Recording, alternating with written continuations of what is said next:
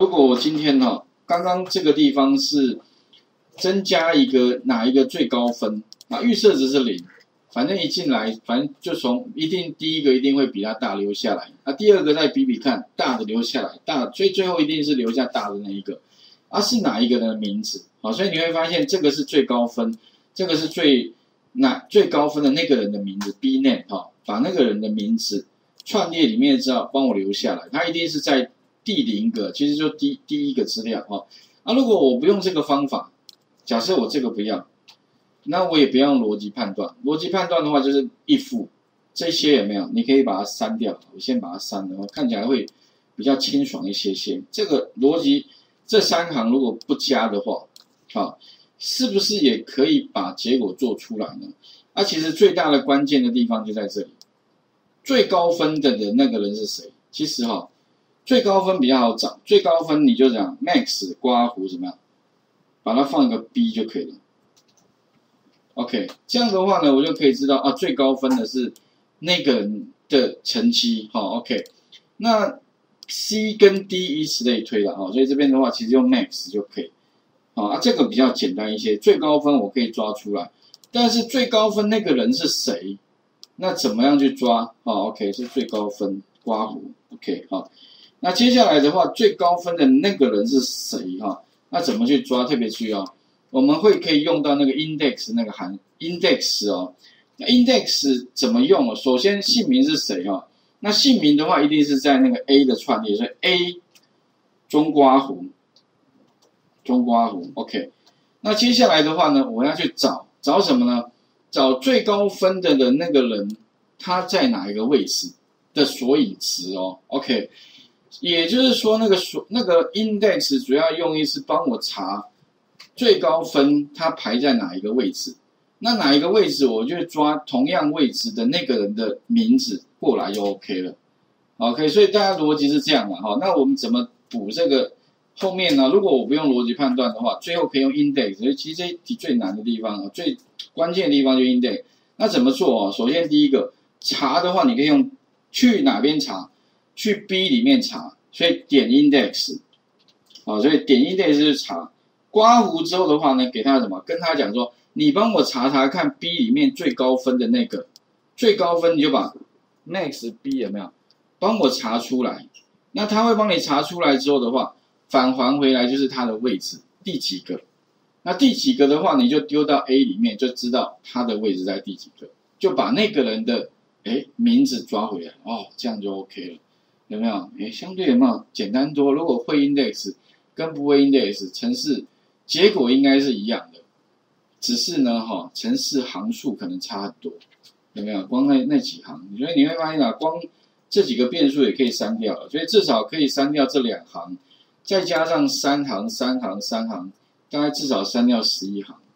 哦，啊，结果呢，我们看啊，如果这样 OK 的话，其实会让程式简单许多哦。所以这边的话，把做好了复制一下，那这个的话一样哈，贴上。啊，其实特别注意哦，A 的哪一个位置哦？所以这个地方我一样把它改成 C，去英文里面帮我查出英文里面最高分那个人是谁。OK，然后呢，回来是一个索引值的位置，那把那个同样位置的那个人的名字帮我调出来。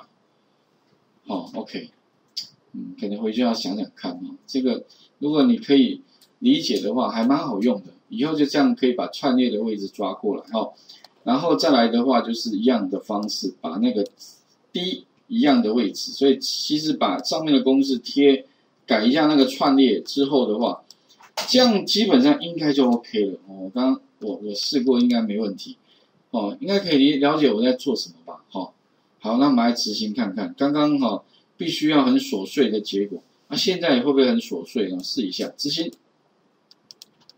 OK，好，结果一样，哦啊，不过你会想说，老师为什么都留小华？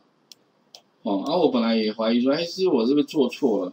后来我发现，哎，真的是刘小华，他太优秀了哈，每个都最高分。所以如果说你假如说你觉得按右键哈，把那个记事本开一下，哎，最高分是不是都刘小华？对哈，OK，所以当然你把它故意改一下。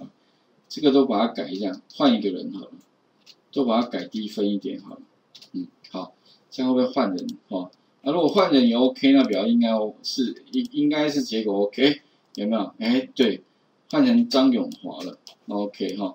所以这样的话呢，主要哦，特别注意哦，我们改哪些地方呢？第一个哈，就是我们原来的逻辑判断，这边的逻辑判断可以把它拿掉。但是拿掉的话呢，要怎么样可以刚刚好？最关键的地方就是去 A，特别说 A 里面去找跟 B 最高分同样那个位置的那一个人。所以第一个是用 A 啊，啊找的话记得用 B 里面的索引值最高分的那一个。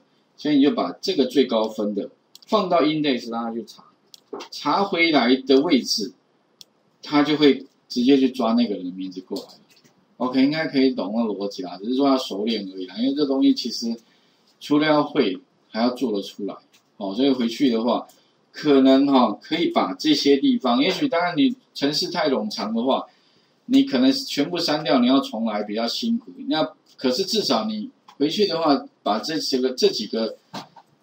地方删掉重来过了哈，那今天的话大概就讲到这个法，下一次的话我们就要再来看，就是说，呃，如果我要做大量档案合并的话，所以在云端上有一个范例档，啊，在云端，嗯啊，云端里面有个范例档，啊，范例档里面有一个叫做全省邮局地址的一个 ZIP 档，你把它下载，下载之后的话，你把它解压缩，啊。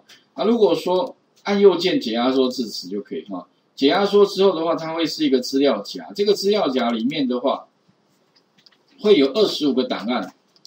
这二十五个档案哈，如果说我们像以前要把二十五个档案变一个档案的话，那就复制贴、复制贴，对对对对，不对哈？那现在的话有没有什么方式可以不用复制贴？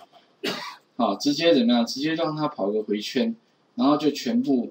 把档案全部串在一起，输出成一个档就好了。啊，其实逻辑很简单啦，只是说你怎么样叙述啦。我是觉得程式真没几行，会写的话了，真的没几行，两大概顶多五六行，好像我印象中就就把它解决。读的话就是 open 嘛，然后用 R 模式啊，串的话用 A 模式嘛，对不对？所以一个读一个串，然后外面包一个回圈，程式就写完了嘛。哦，OK，真的没有什么啦，只是说就像变魔术一样嘛，哈，对不对？说穿了就没什么了。这当然问题你要变得出来嘛，OK 哈。那请各位，诶，就是回去的话哦，还是一样啊，多花一点时间哦。当然不外乎就练习。那如果有些细节还是我刚刚讲的可能讲太快了，你一下没办法听懂哈，回去再再听过吧哈，再 repeat 一下，因为有些东西。也还是有时间的限制哈，OK，我们今天的话就先到这里了哈。